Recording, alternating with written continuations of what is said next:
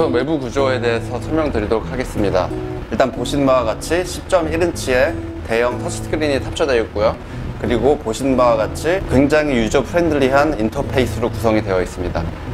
S9의 세 가지 기능에 대해서 설명드리도록 하겠습니다. 첫 번째는 매뉴얼 모드, 두 번째는 프로그램 모드, 세 번째는 user profile 모드입니다.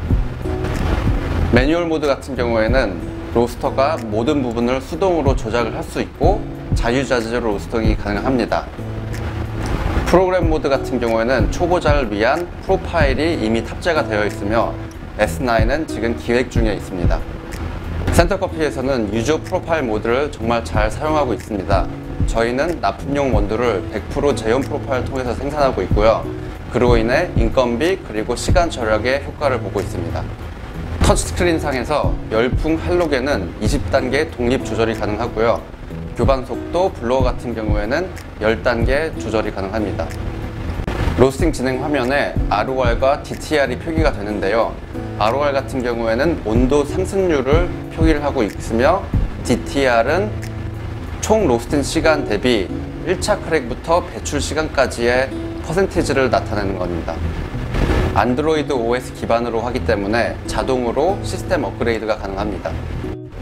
S9 상단에 보시면 여기에 생두 투입구가 있고요. 그리고 여기 밑에 보시면 로스팅 진행 과정을 살펴볼 수 있는 투시창 그리고 바로 옆에 bean 상태를 체크할 수 있는 확인봉이 있고요. 그리고 로스팅이 완료되면 원두가 나오는 배출구가 있고요. 그리고 마지막으로 cooling이 진행되는 cooling basket이 여기 위치해 있습니다. 그럼 이제 내부 구조에 대해서 설명드리도록 하겠습니다.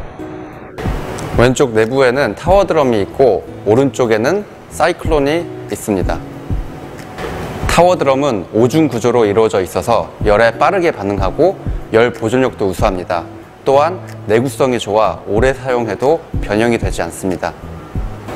이 타워 드럼은 교반 구조로 구성이 되어 있어서 드럼 자체가 도는 방식이 아니라 드럼 내부 교반 날개가 도는 방식입니다. 그로 인해 열 손실 그리고 원두 손상을 최소화할 수 있습니다.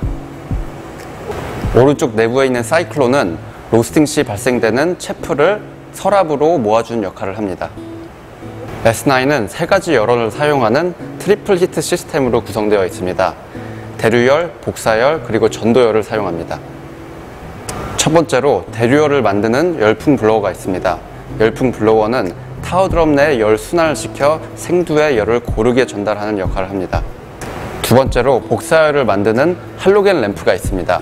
복사열은 생두 깊숙이 침투하여 내부까지 균일하게 익혀줍니다. S시리즈의 특징인 할로겐은 효율적인 열 전달을 가능케 합니다. 마지막으로 전도열이 있는데요. 타워 드럼이 달궈지면서 생두로 열이 전달되는 과정에서 발생을 합니다. S9에는 네 가지 센서가 있습니다. 내부 온도 센서, 열풍 센서, 타워 드럼 센서, 그리고 배기 센서가 있습니다. 열풍 센서는 열풍 온도를 측정을 하고 타워 드럼 센서는 드럼 온도를 측정을 합니다. 배기 센서는 배출되는 공기 온도를 측정을 합니다. 이 네 가지 센서가 측정하는 정보를 통해 로스팅 환경을 정밀하게 제어할 수 있습니다. 이쪽 내부에 위치한 쿨링팬은 공기를 흡입하여 원두 잔열을 시켜줍니다. 1분 30초 내 실온 도달이 가능합니다.